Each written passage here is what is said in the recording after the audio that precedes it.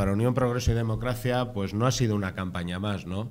Ha sido una campaña que por primera vez mm, hemos podido demostrar, mm, creo yo que más que suficientemente, que, hay un líder detrás de esas ideas de regeneración democrática, de lucha contra el, eh, contra el totalitarismo, es decir, hay un líder, hay un proyecto político y el ejemplo de que estáis todos, eso, todos vosotros aquí lo corrobora, ¿no? que, hay un proyecto y hay un objetivo que estamos convencidos que vamos a conseguir el próximo domingo, como es tener grupo parlamentario propio. ¿no?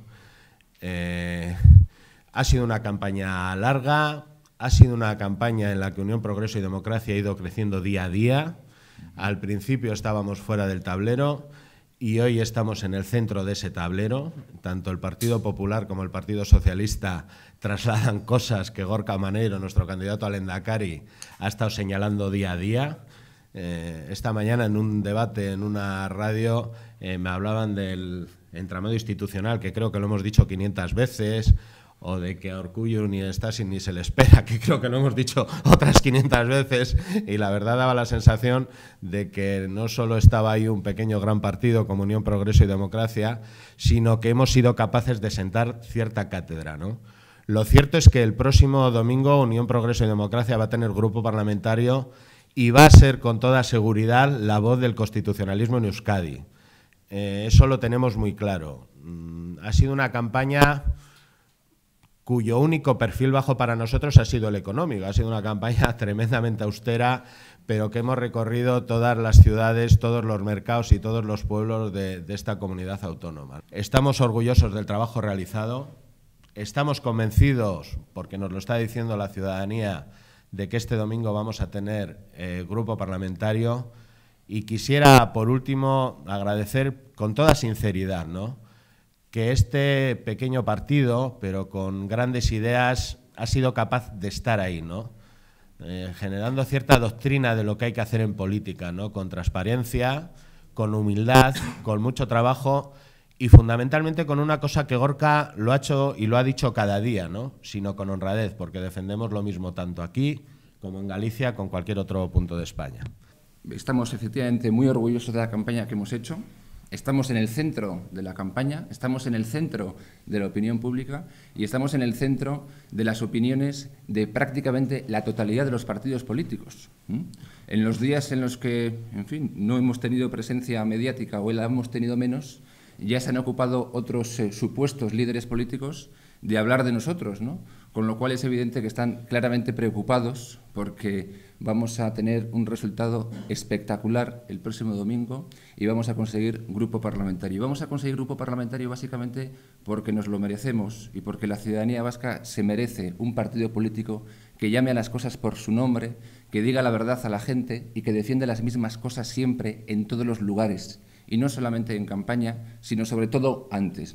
Y la gente ha visto lo que ha ocurrido y ha visto que efectivamente ha habido una serie de partidos políticos que nada más y nada menos proponen justo lo que no han hecho durante estos cuatro años. ¿eh? Y prometen justo efectivamente lo que no han hecho o dicen que han hecho todo aquello que efectivamente han traicionado.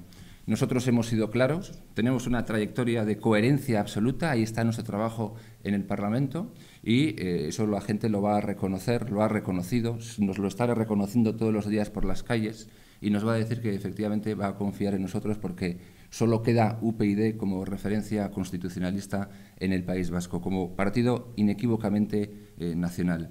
El Partido Socialista de Euskadi y el Partido Popular ni están ni se les espera, han dejado pasar una oportunidad histórica y a día de hoy eh, son cualquier cosa menos alternativa constitucionalista.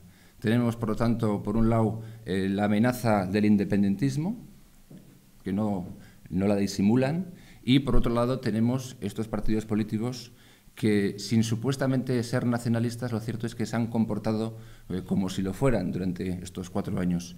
Por lo tanto, estos partidos políticos que hablan ahora de algo así como moderar eh, al nacionalismo, nosotros lo que tenemos que decirles claramente es que nosotros no queremos moderar al Partido Nacionalista Vasco ni hacerles la rosca para luego pactar con ellos, sino que lo que básicamente queremos es que no se salgan con la suya Y para eso hace falta un partido político que representa claramente la alternativa constitucionalista, que habla sin complejos, que habla claro y que defiende los mismos principios en todos los lugares, todos los días del año. Un partido político, en definitiva, que no engaña a la gente, que no engaña a los ciudadanos y que dice siempre eh, lo que piensa y que lo hace con mucho orgullo.